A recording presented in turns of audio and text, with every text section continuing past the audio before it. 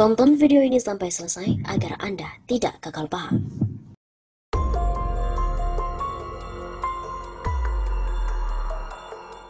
Muhammad Kece tersangka penodaan agama dia aniaya di rutan Baris Krim Polri. Tersangka kasus dugaan Undang-Undang ITE dan penodaan agama Muhammad Kosman alias Muhammad Kece diduga telah dianiaya oleh tahanan lainnya di rutan Baris Krim Polri Jakarta Selatan. Karopenmas Divisi Humas Polri Brigjen Rusdiartono mengungkapkan terkait dugaan penganiayaan itu Kece telah melakukan pelaporan terhadap seseorang yang diduga melakukan penganiayaan tersebut. Pada tanggal 26 Agustus 2021, Krim menerima satu laporan polisi dengan LP nomor sekian Krim atas nama pelapor Muhammad Kosman. Kasusnya, pelapor melaporkan dirinya telah mendapatkan penganiayaan dari orang yang saat ini menjadi tahanan rutan Krim Polri. Kata Rusdi di Gedung Humas Polri Jakarta Selatan Jumat 17 September. Rusdi menyebut saat ini pihak Baris Krim Polri sedang memproses laporan yang dilakukan oleh MKC tersebut. Penyidik juga telah memeriksa tiga orang saksi terkait dengan kasus itu.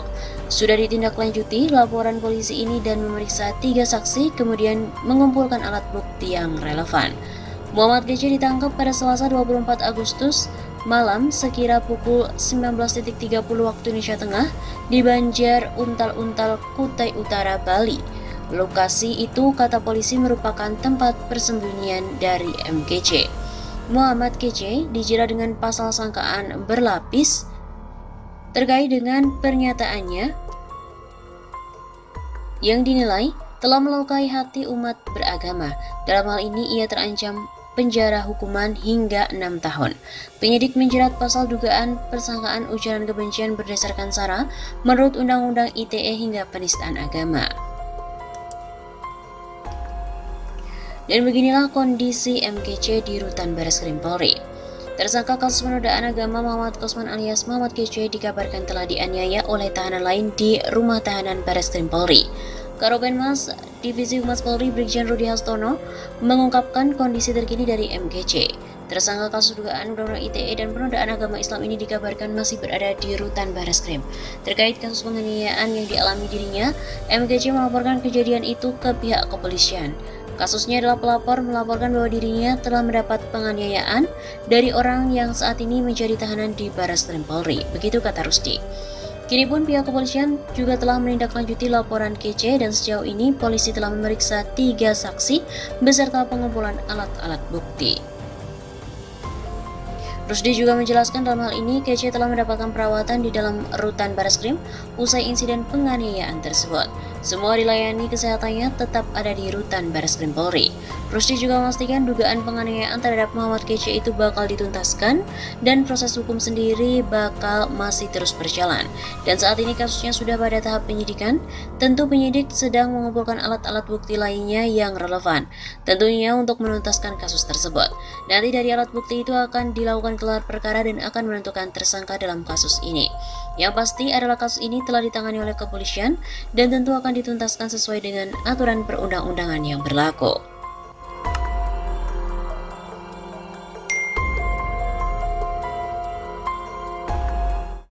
Siapa yang sombong?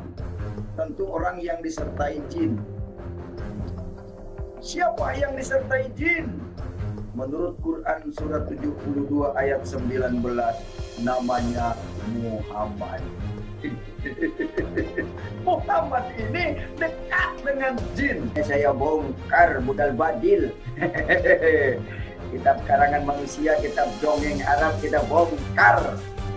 Ayo nyadar bangsa Indonesia. Nyadar ya. Islam ini hanya sebatas politik untuk cari makan ya.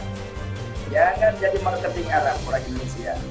Saya menilai pernyataan seorang yang menyebut dirinya Muhammad Kece itu tidak berdasar, tidak logis, pernyataan yang murahan dan kicisan. Ada kesan yang bersangkutan sedang mencari sensasi, mencari popularitas, untuk mendapatkan materi.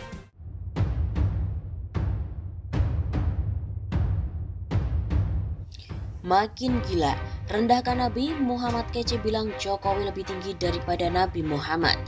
Sebanyak 42 konten video Muhammad Kasman alias Muhammad Kece di YouTube dikabarkan sudah diturunkan, menyusul penangkapannya pada Rabu 25 Agustus yang lalu. Namun masih ada 38 video lagi yang belum diturunkan dan sampai saat ini pun masih bisa diakses. Ternyata dalam video yang diunggahnya dari kanal Muhammad Kece pada 7 Agustus, ia pernah secara belak-belakan merendahkan agama Islam dan Nabi Muhammad Wasallam.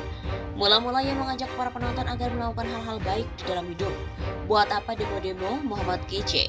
Mengancam-mengancam Muhammad Kece tak perlu, karena Muhammad Kece tidak dimatikan juga akan mati, begitu katanya. Tepat setelah mengatakan itu, ia pun menyebut agama Islam sebagai agama rendahan. Ia bahkan menyebut Presiden Jokowi lebih tinggi derajatnya dari Nabi Muhammad. Oh, Nabi Muhammad Kece kan merendahkan Islam. Ya memang Islam itu rendah, ayatnya juga jelas rendah. Lebih tinggi Pak Presiden Jokowi daripada Nabi Muhammad. Begitu katanya. Apa Muhammad manfaatnya?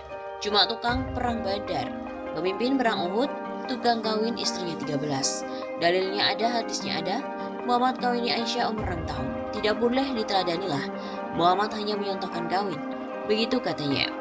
Bukan cuma sekali dua kali ia menghina Nabi Muhammad. Dalam videonya yang lain ia menyebut Nabi Muhammad dikerumuni jin. Dia juga bilang kalau tidak ada satupun wahyu Tuhan yang diturunkan kepada Nabi Muhammad. Ada ayatnya Nabi Muhammad dikerumuni jin. Nabi Muhammad itu dekat dengan jin, pokoknya saya bongkar. Tak hanya itu, Kece juga bilang kalau Muhammad tidak bisa menyelamatkan umat. Terus lagi saya tahu bahwa Muhammad ini tidak bisa menyelamatkan umat. Ayatnya tidak ada di Al-Quran, jadi saya bingung ikutin Muhammad, ragu. Ya jadi tinggalin aja lah nggak jelas. Katanya dalam video yang diunggahnya pada 25 Juli 2021. Muhammad Kece juga menyebut ajaran yang disampaikan Nabi Muhammad tidak masuk akal dan hanya sekadar mitos. Masa mengurangi siksa kubur harus dengan melakukan kurma yang masih basah? Gak masuk akal. Lempar setan pakai kerikil. Gak masuk akal. Itu mitos. Ajaran Muhammad itu ajaran mitos. Mitos supaya mencintai tanah Arab, tanggung jawabnya kagak ada. Katanya sambil tertawa.